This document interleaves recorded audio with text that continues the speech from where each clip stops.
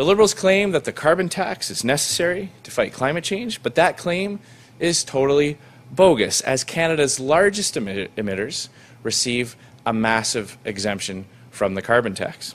This is not an environmental plan, it is a tax plan, and it is only going to go up.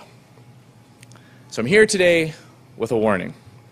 A warning that Justin Trudeau's carbon tax will only go higher and higher, and that this is just the beginning. It will start at $20 a ton this year, rising to $50 a ton by 2022. But that is only the beginning. The Parliamentary Budget Officer reports that the tax will need to be $100 a ton for, for this policy to be effective.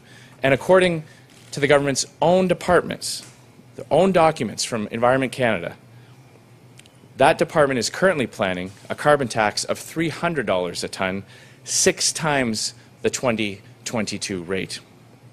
At that price, home heating bills will rise by more than $1,000 a year, and gas prices would go up by more than 60 cents a litre. That $300 a ton number is also endorsed by Dr. William Nordhaus, one of Justin Trudeau's most trusted, most quoted carbon tax experts.